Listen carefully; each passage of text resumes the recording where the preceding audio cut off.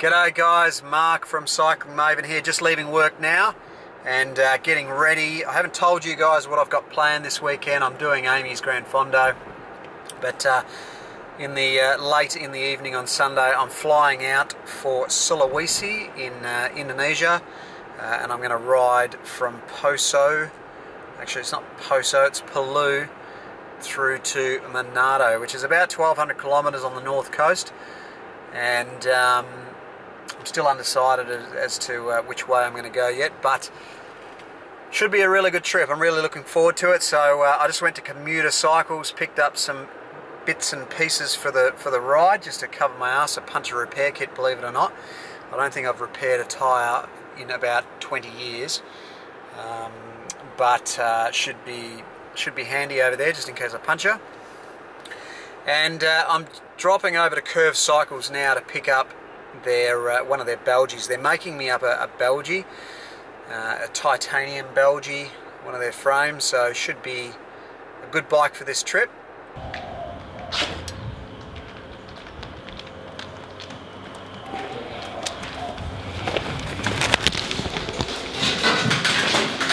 This is it. This is where it all happens. It is Adam, Ben. Ben. Ben's been working all afternoon to get uh, get your bike going, and uh, well, my bike that you're taking, but that's all right. Um, it's it's a bike of, of adventure, so uh, yeah. So apparently I'm stealing his bike, but he was uh, he was building up for what all day today. Yeah, Ben's been. All ready for tomorrow's morning's uh, Belgian ride. Oh, you're taking it out tomorrow. I'll take it out tomorrow morning. Oh, yeah. So I'll take get it get it get some photos of it tonight, and then um, take it out for a roll tomorrow morning, and then it's uh, yeah. I'll- I've seen that Belgie on Strava, the Yeah. Belgie ride. So that's this ride. yeah. Yeah, cool. You, uh, if you want to come out tomorrow morning, feel free. It's a fun ride. 6:30 a.m. in Richmond. So- Yeah, awesome. So am I running the seat, Ben? I, I think if your ass is up to it, yeah, run the seat. So yeah, just setting up the brakes on this bike, the all important part, Yep. um, which will allow you to stop and go. Yep, awesome. Oh, this is exciting. So this is going to be my rig through Sulawesi. Curve CXR cyclocross race, as we call it. Um, it's Awesome. been quite a long time in the making, um, but we've finally received a few frames, and this is our Adam's personal bike that's being built up and, and landed here.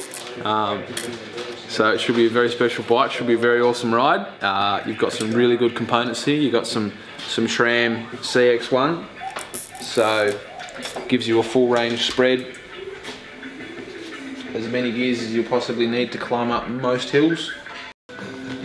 That travelled that distance. So that Whoa. So how far was that in total? 4,178 miles. Oh, look at it there. 6,000 clicks. In how long? 18 days.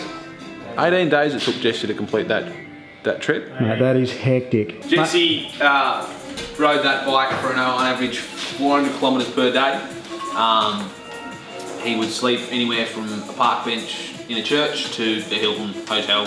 Um, he would have food basically consisting of eggs, high protein, pancakes, anything he could get his hands on at particular towns along the trip. Um, and he would always give us a daily Instagram post of how he's feeling, how he's going. Um, which was a huge motivation for a great deal of bike society in Melbourne. Um, and his motivation has inspired, I think, more than a few people to go out and do their own sort of style of distance trip where they can be alone with themselves for a long period of time and see how they really find their own thoughts and, and how it is to pedal a bike for an entire day, day after day after day for a week or, or three. Um, it really is something that only special people enjoy, um, but the, the reward is, is huge. So just left the boys at uh, Commuter Cycles and uh, Curve Cycling. I feel much better about my trip knowing that I've seen the bike and I can see uh, what bags and stuff fit on the on the uh, on the actual frame. So it should be good. The bike's looking good. They're going to build it up well. I sort of trust that uh, Ben's going to do a, um, an awesome job. And uh, I'm getting pretty excited about the trip. So uh, just heading in now to pick pick up some dry cleaning for Hanny.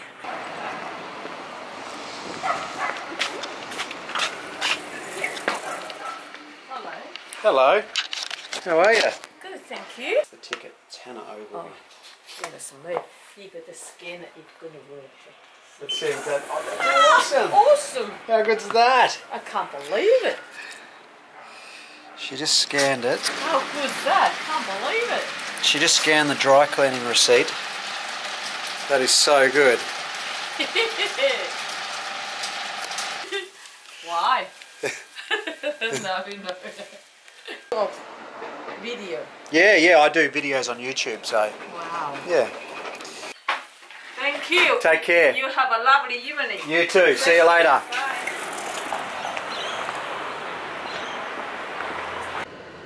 All right, Kitty, the Kitty, the cute little Asian lady from the uh, dry cleaning place, just rang me as I was driving down the road, and she gave me all the wrong clothes, so I had to go back and uh, and get it. She reckons she was flustered because the camera's in her face.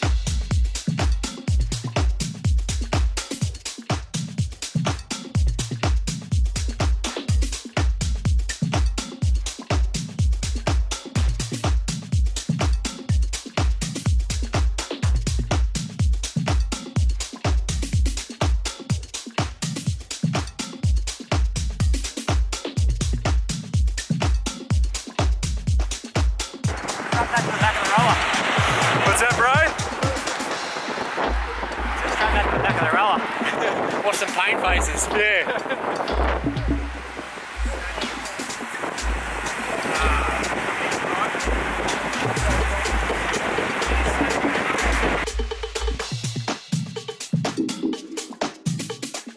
So just getting home from the ride tonight. It was a uh, it was a good ride. There was a, quite a few crew out. It wasn't too cold, so um, and everyone managed to stay upright. But uh, one thing I noticed is there are a few guys, that, the guys that are sort of coming back onto the bike after a break over winter.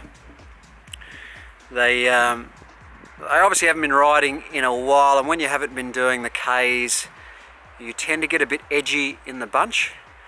So uh, just a reminder for that crew, you know, when you when you're in the bunch, just try to keep your line, just try to relax. Uh, it's quite an anxious situation being in a bunch ride, and uh, when you're doing it all the time, you sort of become oblivious to it. It doesn't even phase you. But when you haven't been doing it for a while, those first few times back, you tend to get a bit edgy, and you know, you just uh, so just relax, you know, relax and um, chill out and just try to enjoy it.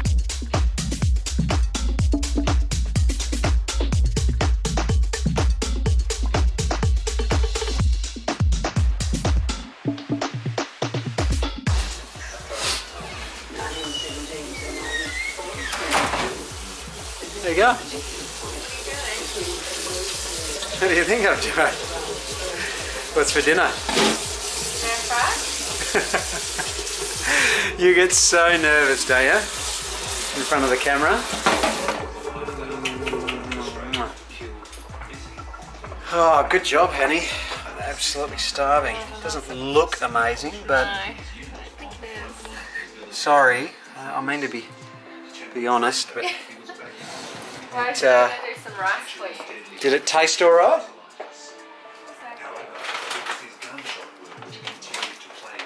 All right, let's see how we go.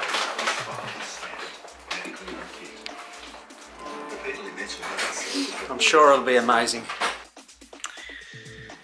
Hey guys, just uh, just finishing up a bit of editing now um, for today's vlog, but uh, yeah, that uh, meal Hannah cooked, she didn't end up. Uh, she confessed to me later tonight that she didn't end up eating it. I think she had leftover pasta, so um, it wasn't too bad though. It was it was all right, but um, yeah. So I'm just doing finalising the trip for Sunday. You can see I'm sort of laying a whole bunch of stuff out for um, deciding what to take and what not to take. I'm going to take some GoPro stuff, and I'm still in two minds. I've got my uh, Sony RX100 here, but I'm sort of still in two minds about whether I'm actually going to take the um, the big camera. So um, yeah, I spoke to the boys from from North South blog. I'll link it in the uh, link below. Um, I spoke to Dave this morning, and he said don't take the GX, uh, the G, whatever that thing is. I'm so tired. The GH4 because it's too bulky and uh, I can get some really good quality footage on this. But look, at the end of the day, I think I'm only going to have one crack at this, so I think I might take the camera and uh, just regret it, possibly just from carrying around too much stuff. But uh, we'll see how we go. But yeah, look, it was great to see Jesse Carlsson's bike today. I mean, what an absolute beast. He did that trip day in, day out, 400 Ks every day, gastro, all sorts of things you could imagine. I mean, it is the penultimate in, uh, in human achievement in my mind. And, um, you know, I mean, I'm not probably not going to that level, but uh, look, it's going to be certainly a challenging trip. So, um, anyway, we'll uh, get a better look at the bike uh, later this week and how I'm going to pack it. And uh, if I don't speak to you before uh, Amy's Gran Fondo in Lorne, good luck and I'll see you down there.